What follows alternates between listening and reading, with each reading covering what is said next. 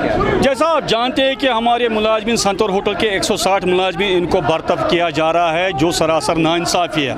हम की हम इनके सपोर्ट में हैं, इनके साथ है, इनका जेनवन डिमांड है। इन्होंने सबॉर्डिनेशन के साथ काम किया। मुख्तसर मैं आपको बोली, इन्होंने सबॉर्डिनेशन के साथ काम किया है। संतोर होटल को इस आज तक चलाया अच्छी तरह कोई प्रॉब्लम नहीं, कोई मसला नहीं है। इनको क्यों निकाला जा रहा है? अगर सेंटर से सीरियट में ये होटल ट्रांसफ़र हुआ है, हमें कोई एतराज़ नहीं है।